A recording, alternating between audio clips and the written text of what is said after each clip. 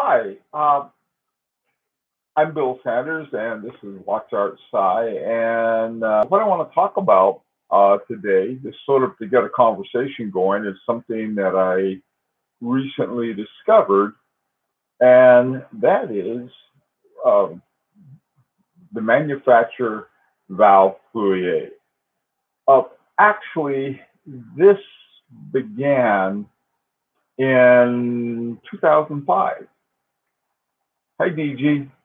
And the what I found out really surprised me. My ignorance surprised me more than anything else.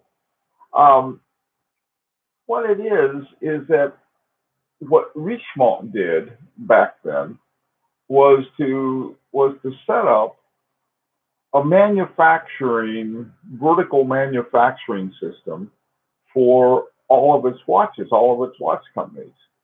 And so I started looking around and I started uh, uh, finding these. And so, you know, I thought, well, this is this is this is pretty interesting. I uh, 2005, this thing has been going on for 13 years, and uh, probably something I ought to find out about. So I started looking into it, and a number of watches have their um, uh, hey Zabber, um, the a number of, of watches have their movements made by this and, and have had it. Um, should you or should you? Okay. Hello, Atlanta. Um, the and, and there's a big discussion about in-house movements versus getting movement from somewhere else. And you have a similar situation with Parmigiani, where you have Vaucher that's part of a vertical um, organization that they have for watchmaking. But here's one that's sort of part of the biggest watchmaking group next to Swatch and uh, Rolex in the world, and that's uh, Richemont. So I thought, well, you know, it'd be it would be something to kick around. I'd like to do a um, uh, a video on it. Hi, Belfast. Um, and so anyway, so this thing I was gonna I was gonna kick around. Uh, first of all, let me see if I can explain how it's set up. Um, any any kind of vertical organization in a in a larger context means that you have one company that takes care of one thing, another company that takes care of something else, and another company that takes care of something else. Hi, Peter. Hi, Liverpool. And the um, so anyway, that that's what I thought. Well, we'll talk about it, and any any ideas and comments you have, I'd like to hear. Um, no, first of all, like I said, it was probably a little before um, 2005. In fact, it was back in the 1990s well, uh, when um, Richemont had some other name, I forgot what it was, and then they they said, well, we're we're going to have to set up some kind of vertical organization for making our own movements. And hi there, Stifle. Um, and oh, where's Spots Check? Uh, this is my uh, H. Moser uh, Henry Double Hairspring. Love it. I love them all. Um, yeah, I was just commenting to, to, to Jobber is that have you ever made a bid on a watch and hope you don't get it? because what am I buying that for? So you put in a low bid and they say, okay. Uh, anyway, um, some of you know some really nice watches I got that way at a really great price. But anyway, all good. I'm glad I'm not the only one that says oh, please don't accept it. I'm trying to save up for my Lang and Heyne. I keep seeing things. All right. Um, let me get back to this. I'm going to turn this one off. It's getting looks like I'm being interrogated. Um, oh, this is this will be okay. A little too much. Little. I, I, I think it's my lighting here today. We've got a storm going outside, and it's really I mean, pretty good. I have the side window open because there's nothing but clouds, so I'm not going to get burned up. Okay, hi, John. You, haven't missed anything. I just was talking about manufacturer Val Fleurier, something I didn't know about. Hi, Don. And um, so anyway, um, how they sort of set it up, and they and they've actually had it going since 2005. Now I think, hi Eddie, I think that the first one they did was for Panerai. I think it's the P2000 was the first one that they actually made. And so the way it's set up, they have the um, the uh, research and development are in uh, Neuchâtel, and then they have the production and the machining in Buttes, and then they have the finishing and decoration in La Cour Free. And the in La uh, Free is where Piaget is. Well, Piaget is owned by uh, Richemont, and so they it's co-located with it. Um, Eddie, the topic is of uh, manufacturer ValFleurier. This is Richemont's uh, manufacturing vertical organization. Anyway, um, yeah, I, I, probably should have put that up, but I forgot to. Anyway, when I mentioned this, this was something I it's sort of like I discovered this and thought, man, I should have known about this. Um, Federico, I didn't realize this. Federico worked for Richemont for four years, I think, and uh, he seemed to know all about it. So it, it, it's really very interesting. Um, when you if, if you if you go to watchbase.com where they have the movements, they talk about the movement. Um, what you'll see is um, you'll see some reference to Val Fleurier. And they have two different spellings of it. One is two words, Val and then Fleurier, the name of the town, or one of the towns. I guess it must be nearby. Uh, I think uh, Neuchâtel is. And and then you have the, uh, it's also spelled with one word, sort of a camel case with Val and then Fleurier in capital. Uh, it, it's spelled a lot of different ways, but it's but it's something I think it's like it's it's like finding ETA, but they're you don't see their name on any of the movements, and instead you see uh, the P for Panerai or the uh, MB for uh, Montblanc. Mont Blanc is another one that they have done things for, but it's it, it's sort of hard to to nail things down. One of the other uh, customers is IWC, and, I, and I'll tell you something that's sort of interesting.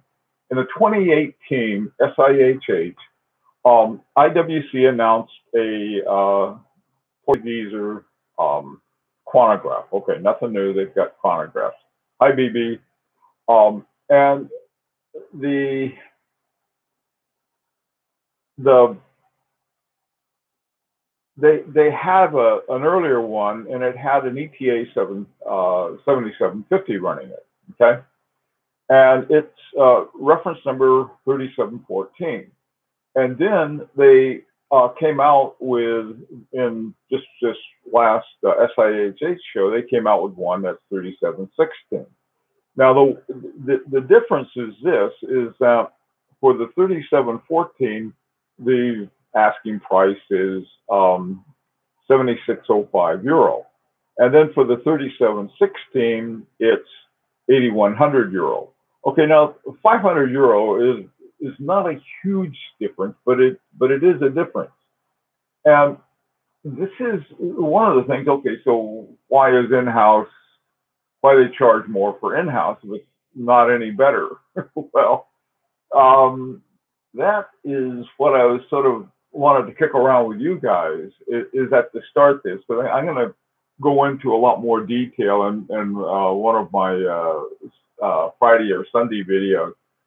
And um, but I wanted to get some. Um, first of all, any of you familiar with uh, any of the uh, Val Fleurier movements? You may be and don't even know it. so could I. Uh, but they're they're basically making movements for certain, I don't think all of them, uh, uh, some companies that they own uh, already have their own movement uh, development. I believe uh, Piaget has it, uh, Vacheron Constantin, uh, Jaeger LeCoultre. So um, they, I don't think theirs are made by Val Fleurier. And and one of the best things that ever happened, I think, that ETA did and then tried to undo was telling non-Swatch companies that, hey, we're not uh, we're, we're not going to be selling you um, anymore. You're going to have to go out and make your own movements. And so they did. and with all of the watch companies that are part of of um, uh, Richemont, there's that's a lot of watch companies that are going to have to be developing it, and the companies like Montblanc, which is really a fountain pen company, and they're changing. I tell you, another one I saw that was really interesting was um, um, Ralph Lauren. My God, uh, you know, to me, Ralph Lauren uh, watches were nothing but a, a fashion watch. They throw in, you know, they throw in quartz, they throw in whatever, you know, whatever tick form. But I was, uh, uh, I found a movement uh, that was made by Val Fleurier that was used by Ralph Lauren, and I'm not sure if they if it was also used by Panerai or some other ones, or oh, or IWC. Oh, that's another thing you see. You see some things that were oh, this is an IWC, the base of this is an IWC. And then you read on and say, well, the base of that IWC is a ETA 770 or uh, 7750 or something like that. And so, uh, but they're, they're really Val Fleurier.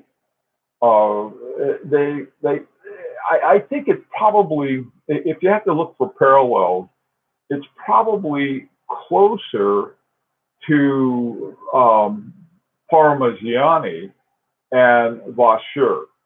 But I, but Vaucher at this time, uh, it will is making really very good movements, not only for Parmigiani, but the ones they make for Parmigiani is with the Mito uh, Parmigiani says, okay, this is this is the here's the design for the movement.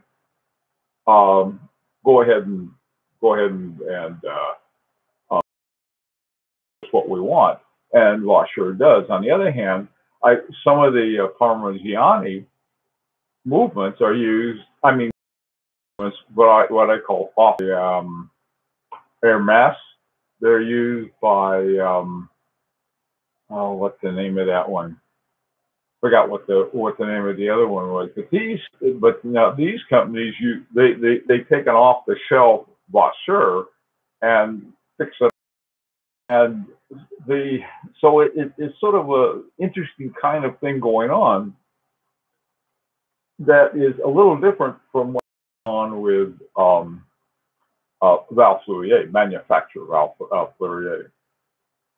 Um, Okay, Ralph Lauren also uses a movement by Piaget. Well, chances are that Piaget. See, the thing is, is that um, Val, uh, manufacturer Val Fleurier has its its uh, finishing and decoration co-located in um, uh, La Coudafri with Piaget. So that was uh, they may have um, you know, they may just take an off the shelf uh, uh, Piaget too. Piaget is a is a watch company I don't know that much about, and I'd like to learn more. So um, I like watches. Got some information on that. Really interested in it. See, the thing of it is, is it may both Piaget and the Ralph Lauren may be part of the uh, this vertical organization that uh, that has all of the all of the wherewithal uh, for the R&D, for the manufacture. Uh, the manufacturer where they're actually putting everything together is in is in um, is in Buttes, and then they then I guess they ship them all over to um, uh, La Coudafri, where they do the they do the decoration and the finishing. I don't know, I, I you know, I, I throw them in the back of a red pickup truck for all I know and haul them over there. I'm not sure what the what the distances are uh, in in Switzerland. Anything else, you guys? Uh, what do you think about that? Is that I mean, so, you know, why not just keep your ETAs and put those in your IWCs so forth? And I think, excuse me, uh, the reason they really kicked it into high gear isn't because of the sort of like, oh well, we don't we don't exactly trust uh, watches uh, that don't have uh, ETA movement in it. Hello, anybody there? Nobody's interested in. Hi, John. Yeah, okay, John. Yeah, I, I feel the same way that John does. They have high high quality movement. Who cares? I, I really agree with that. I know that um, one of my um, my 1972 um, Vacheron Constantin, which was the second model that they made between 1999 and 2013, has a Frederick uh, Piguet in it. Hey, Rudy. Um, so anyway, that's that's sort of the uh, trying to figure out is that all right? Well, uh, here we have this. Um, uh, we're using ETAs, and and a lot of people, you know, they swear by ETAs. They think they're they're great, and um, okay, yeah, you're right, John, about uh, DeWitts. Yeah, they're highly decorated and they're probably highly um, modified too. I, I, think, yeah, some of the DeWitts. Uh, I was looking at one that uh, was really, really something. One of the things about DeWitts, excuse me, one of the things about DeWitts is that oftentimes uh, in, in models and watches like DeWitt, nobody knows anything about them or anything, and they can have some really nice movements in them. And but since nobody wants them, then you can get them for really cheap prices. Um, man, one of the uh, that's a good example. Uh, the H Moser, the H Moser double hairspring, uh, and some of the other ones, they just didn't do that well. And uh, you can pick them up for, or used to be able to. Now that all of I, I saw this one I wanted, but all of the one, uh, me and my big mouth, I said, oh, you know, these are great deals. You go to this place, they have really wonderful deals. Well, apparently they're all gone. So, except there's this one one uh, double hairspring left. So, okay, uh, IWC is one of the most. Uh, I know, I know. Yeah, they have. Uh, see, this is uh, Rudy's point about yeah, they are deceptive. I, you know, and they say, okay, yeah, this is our, this is what we call it. This is how we modified the movement from an ETA, and we call it the IWC XYZ. Okay, and this is why they say, well, ETAs are just as good, but but we're not going to tell you that we're using them. oh, well, wait a minute, does not compute. Uh, so, but what they're doing here with with this um, uh, manufacturer Val Fleurier is they're saying, okay, now this is sort of a Richemont's movement making, vertically organized thing that they make movements with, and the ones that I've seen, they're okay. I mean, they're they're sort of between the kind of quality you see in the Vaucher and the kind that you see in ETA. Uh, but one I saw, this one that was um, was made for, or it was made for IWC, I think, and used by Ralph Lauren. They covered it all up, and they got these great big plates on it. And and if you look at um, if you look at a watch company that wants to show off their movement, it's it's something that they do by um, by having a you know showing it off. Uh, all of my most of my watches, I got one that doesn't, and they don't show it off because they're hiding a Peseux. anyway, yeah, this guy right here, eh, that's a double hairspring, uh, uh, Henry double hairspring fantastic watch, and uh, they're showing off their thing. When this came out, though, this was this was not a popular watch, uh, but the the concept uh, and the the functioning of double hairspring on this one was was fantastic. It worked. It was a concept that was for um, uh, constant what do they call it, uh, constant force, and a double hairspring worked because it helped keep the um, keep the the center of the uh, uh, well, what's it called? The center of the balance wheel centered.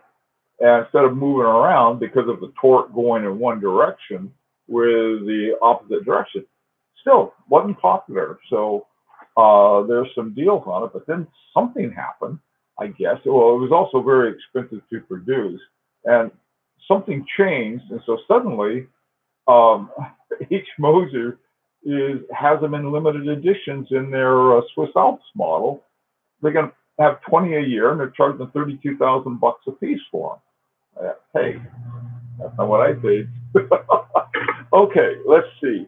I like watches. Didn't the older IWCT movement used to be totally rebuilt and modified in-house? And I think they just get them from I, IWC uh, Sellita and swap them in. I don't know. I, they could be. Like I said, they have, you know, the difference. They have 500 uh, between the new one, the, the model 3714 and 3716. The the uh, 3714 has the ETA uh, 7750 or the Sellita equivalent of that, whereas the new one has, let me see, the caliber. Boy, this is, they got the long caliber numbers, 69 355. Now, that whole thing was uh, perhaps designed by IWC, but everything else on it was put together by um, um, Val Fleurier. And, and that's why uh, it's, it's sort of fun to find out about this. they've been around since 2005. I just heard about them this week, which is, you know, put me behind the. But how come people don't talk about it? Hey, you, you hear, good grief, uh, just about every forum and discussion you're going to hear about ETA talking about it, and Sellita, and then in-house and and uh, and maybe Soprod, and maybe a few other ones that people know about. Um, but um, but this is interesting. This is really interesting stuff. Um, excuse me. Um, the what do I have? I have it. It it, it it's been really hot and muggy, uh, and a thunderstorm going outside. But uh, my wife cooled off the house so much I have to put on a sweatshirt so I don't freeze. Okay. Um, all right. Uh, what uh, two to three watches are you researching for a positive purchase?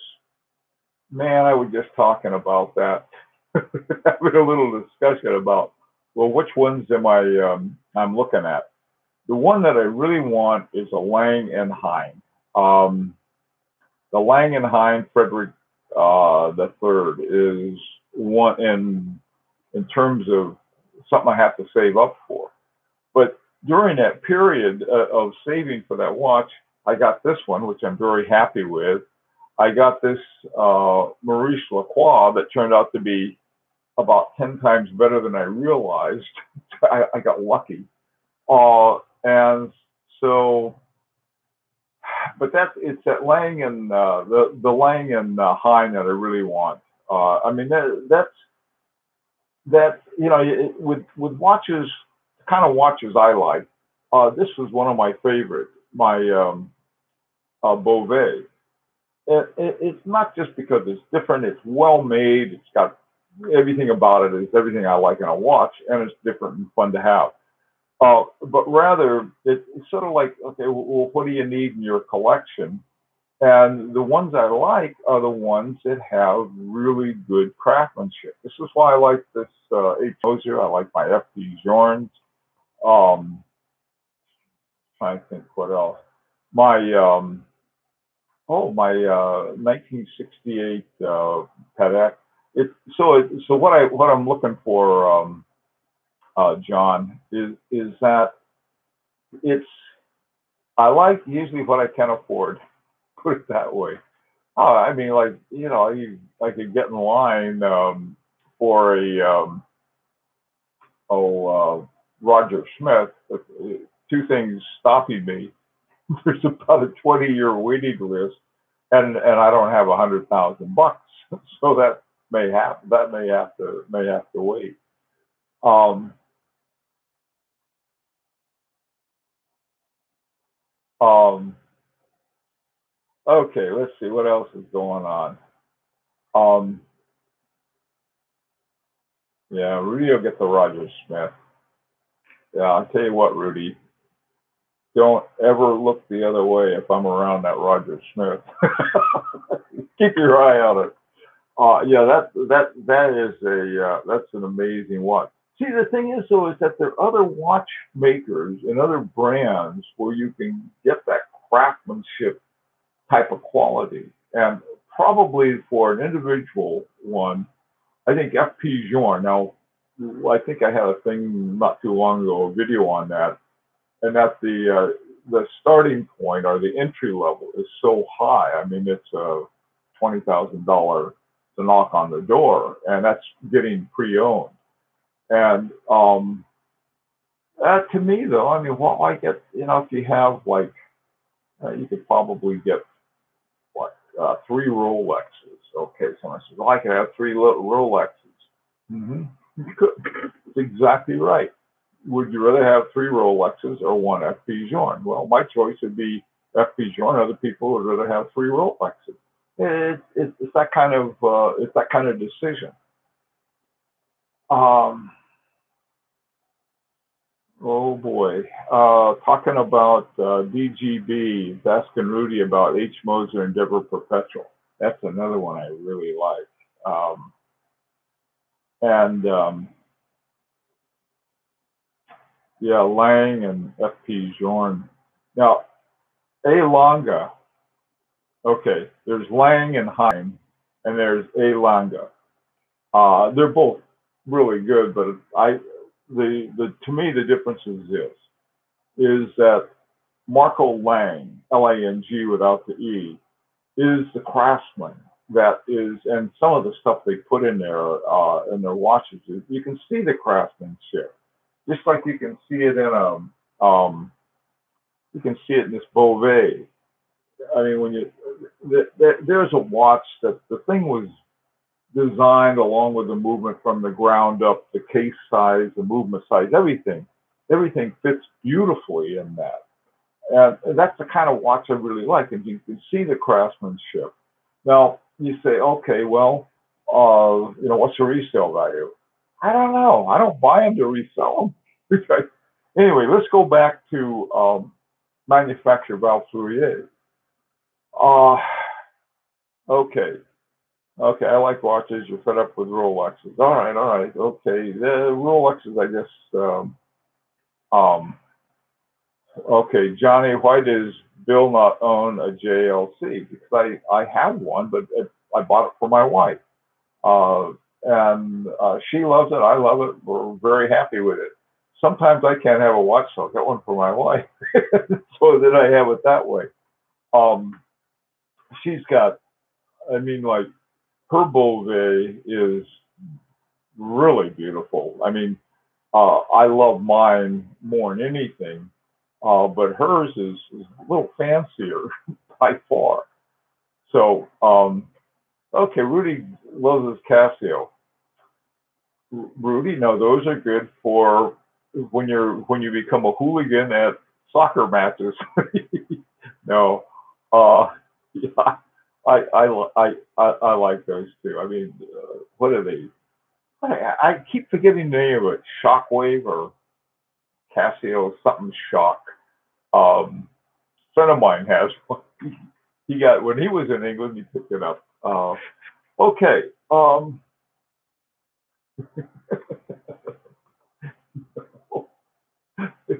I'm no Illuminati. Just kidding, Rudy. Okay. Um, let's talk about this. What other watches do you know that had a movement by Val? Any, any ones you guys know of? Let me write it down. I can write something down here, I think. And it's called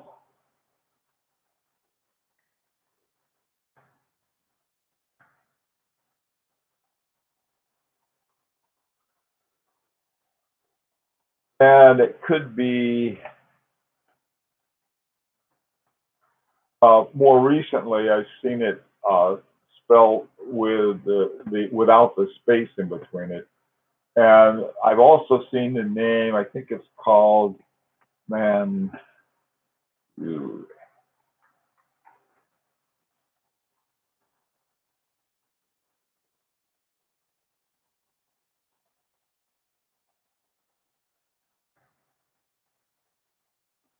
Um, 70 Patek Philippe needs to update to 70s Patek Philippe. You know, the, ones from the 70s were really quite good. The Patek Philippe were. I mean, they're excellent watches. I think the ones from the 60s are too. Um, yes, FP Journe. Man, that is, I love those watches. FP Journe watches. Um, um, Matt, uh, Matt has them. Uh, oh, I tell you, the, the collection of FP Journes that is weepable are the ones that um, Hewlett 74 has. My God, what a collection that is of FP, just of the FP Journes, not to mention everything else. There's another, uh, just a fabulous collection. Rudy's got a great collection. This Sunday, by the way, this Sunday, um, there's a very surprising collection I got. I got uh, sent some. That'll be a surprise. And believe me, it's not like any of the other collections we've had so far, and it's really an excellent one too. So that's that's on tab for uh, Sunday. LNH, you bet. that's right. LNH all the way. I got to focus. That's my problem. I keep you know, looking here, looking there. Uh, somebody was trying to talk me into a, a Breguet, which I really liked, but got to focus on the uh, Lang and Heyne. okay, uh, what were you wearing when you uh, shot JFK? Um, very funny. Uh, actually, it was probably an Accutron. Uh, I used to have an Accutron uh, uh, during that time. Yeah. Oh man, I tell you, there are um, so many, so many great watches out there. I keep finding new ones every day. Uh, today I found one. Um, my wife stepped out. So I can talk, and this is going to be recorded. Thank God she doesn't watch my things. I found one. I put I put a low bid on one, and I'm now I'm hoping. Oh, I hope they don't accept my bid. I mean, like really low. And I've I've done that before and got the watch. I mean, like I'll put in fifty percent of the asking price and they'll sell it to me. Oh no, what'd they do that for? I'm trying to save up for a Lang and Heyne. Well, I did it again today. I put in a bid for one I really like, but then I was thinking, man, yeah, oh yeah, hey, um, Jabber, there are some super nice FP Journe on Instagram. By the way, uh, yesterday was the last day to enter the FP Journe um, contest. Uh, every year they have a contest. Last year I had a picture of my my neighbor. I live next door to uh, goats, and so I had a goat. I showed him my watch. The goat was looking at it. they, they, I didn't win, but they featured that all over the place. This year I don't I don't think my FP Journes was so interesting. But what I had to do every every picture I took to enter the contest, I had to put hashtag FPJ contest 2018. So I got all of these uh, ones I put up on uh, Instagram of my um, uh, Chronomet uh, Resonance. Uh, it was, I think it's like the 20th anniversary of the Resonance. Yeah, I think it. I think that's what it is, or the 25th, one of the two. Uh, probably the 20th. It's the 20th anniversary, and they were having a big deal about that. Um, Mine is from 2002, and it has the uh, brass uh, plates in the movement instead of gold, and apparently they became rare. Uh, John, yes, FP is on anybody's list. You know, one of the things this watchmaker who used to be a judge for uh, the Grand Prix d'Horlogerie said that he said there aren't any watchmakers who are better than FP Journe. He said there, there's some that are, are just as good. And of course, you know, Roger Smith and um, Philippe uh, Dufour and uh, Kari Voutilainen, they said there aren't any ones that are better, which I thought was really interesting. Now, someone's going to say, well, that's not true. Uh, well, that's what I think. You like the shoes? What? Let me see. Oh, oh, oh, yeah. the shoe pictures. Right. Yeah. You see, this is really funny. When, when you go to look at watch pictures, you see shoes. Um, Matthew, you don't see shoes. You see flip flops and, and Matt's toes. Um, most overhyped and disappointing watch that you have. Most of my watches, to tell you the truth, are underhyped. Um, boy, you know, I, you know, that's a good question, but I don't have any like that. I really don't. I don't have.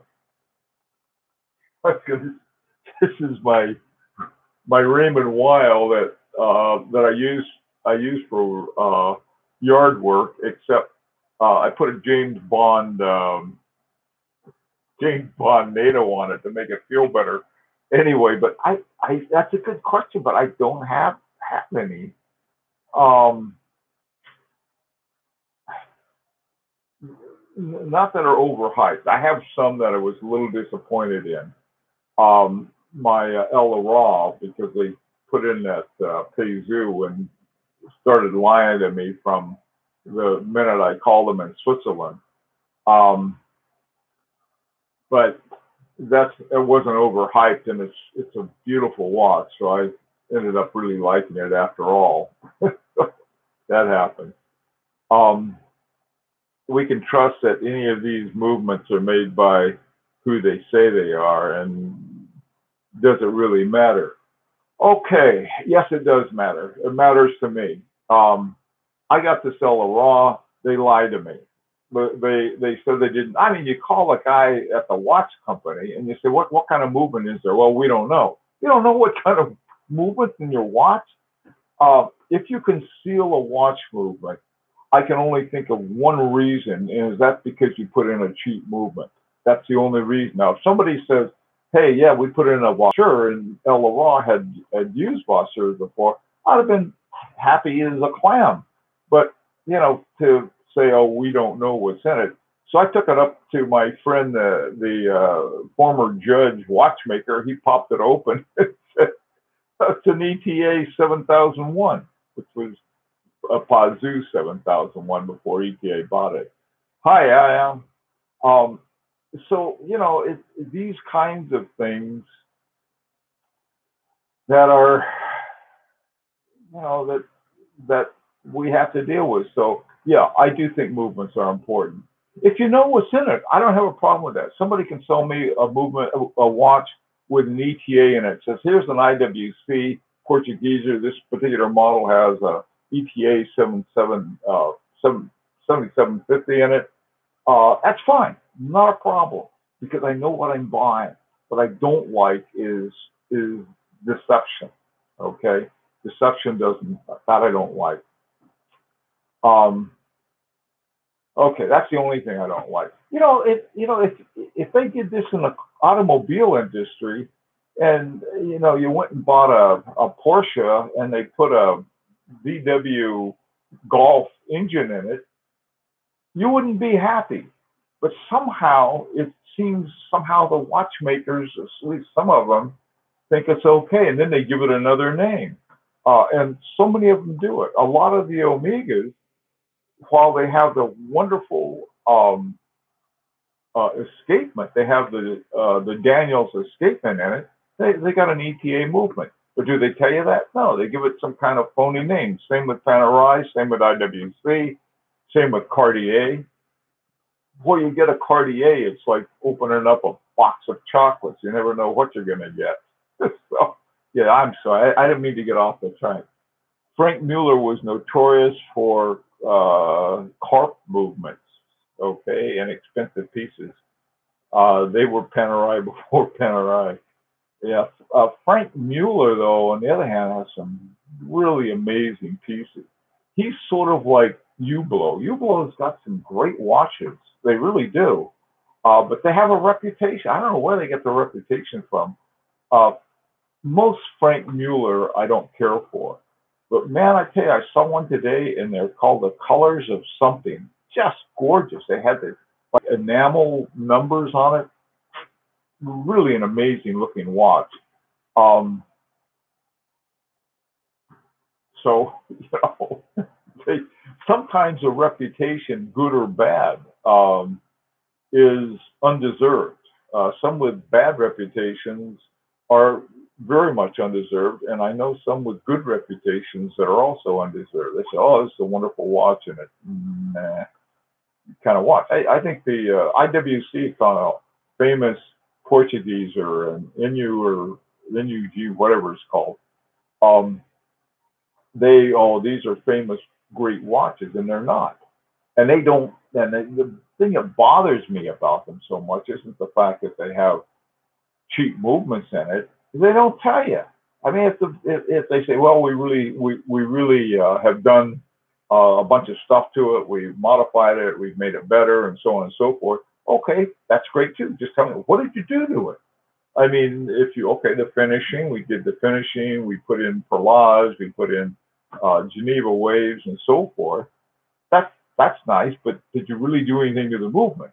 In other words, this is a lipstick on a pig, still a pig. Um, Franck Muller's a massive complication who got tired and sold out. Yeah, I think you're right. Yeah, that's exactly. I think that's exactly it. That happened with um, Marin uh, Speake, right? Same thing. He got for whatever reason he left his uh, his company. So did um, Gerald Genta. Uh, that company, he for whatever reason, uh, Genta left Gerald Gent, or they asked him to leave. I have no idea why. Um, and know that that happened.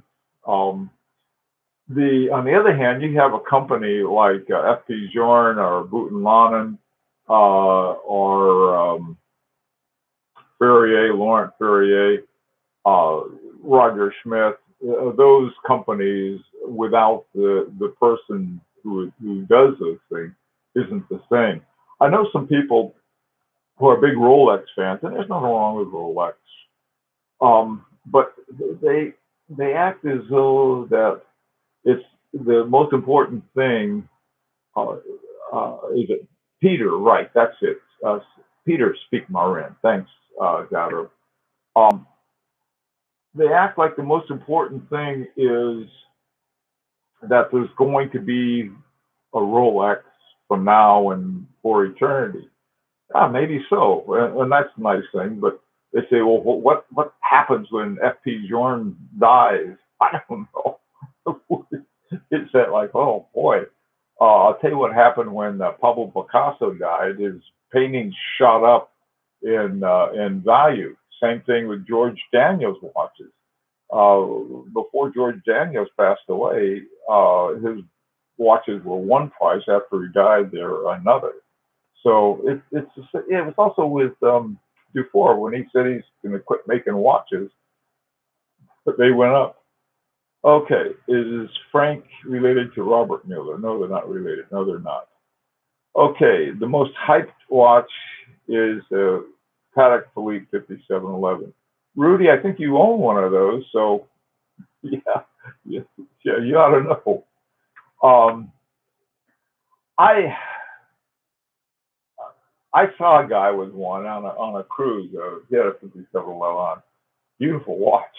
I he never paid any attention to it, but uh, of I I thought it was a good looking watch. I don't know if it's um, it, a lot of these things. Know, they get you can't buy one because there's a waiting list for 20 years or something like that. Well, that, that's true with uh, Roger Smith, but some of these other ones you know, they make millions of them a year and they somehow are rare. That was something else too, uh, that is somewhat related to that is that the idea of scarcity and scarcity where you have, they're scarce because they're very hard to make.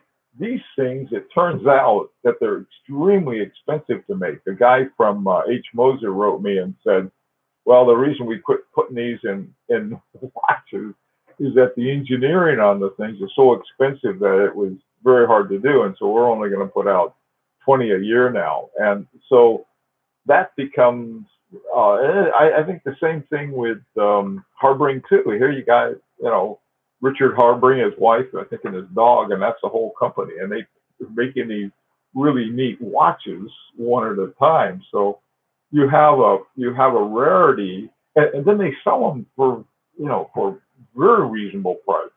So you have a rarity based on the time quality of making them versus where you see some of these companies that every watch they have, they they say it's a limited edition. I saw one that the other day was like that's a limited edition 2000. Okay, so maybe they'll find 2,000 people like it. Um, okay, Bob, if the 5711 didn't have a Patek on the dial, it'd be selling for half price. I think that's true with a lot of watches. If they didn't have a certain label on it, they might be selling for a lot less than half too. Ah, uh, okay. Um, all right. Um, yeah, Rudy, what about a great under the radar watch you have? Well, the Blancpain 50 Fathom now that's a see that's the kind of watch that'll get me in trouble, and here's why. I'll be minding my own business, trying to save up for a Lang and Heyne, and I'll, I'll, I'll see a 50 Fathom and say, "Hey, I can afford that," and grab that. And there goes my savings toward a Lang and Heyne. Um, okay, on underground movements. Oh yeah, uh, that's I think I've seen that report. Uh, I like watches on the underground ones. Um, yeah, yeah, that's I, I've seen that. In the underground movements, I think they were talking about. I think Val Fleurier was one of them, and not exactly underground, just that somehow it never comes up, or somebody else has a label on it. Well, listen, uh, I was only supposed to rattle on for half an hour, and it's been um, 45 minutes. So I'm going to have to bow out, everybody, and thank you all for coming. And I just, it was just something I wanted to sort of off the top of my head I got interested in. And anyway, so uh, hope to see you on Friday for the regular, regular kind of thing. Okay, one last one. Why is Parmigiani so cheap uh, on the pre-owned market? uh, not only on the pre-owned market, on the condition zero market. This is another one that's starting to dry up really quickly. There used to be all of these great deals on Parmigianis at uh, shop worn, and the only ones left are the ones made of solid gold. the ones got snatched up. I think a lot of people got wise to them, um, but uh, Graham, yeah, there people people don't. Now, yeah, they they're not popular. Uh, one of the things that I know that uh, some people have accused Parmigiani of is terrible marketing, and that may be true. He, instead of paying attention to marketing, they're paying their attention to making these these really good watches. And I'll take I'll take the uh, uh, take paying attention to really good watchmaking rather than really good marketing even though I have to admit, you know, I, I don't want to see uh, any watch company, you know, get in trouble because they're not selling enough watches. Uh, but I'd rather have them spend their resources making excellent watches.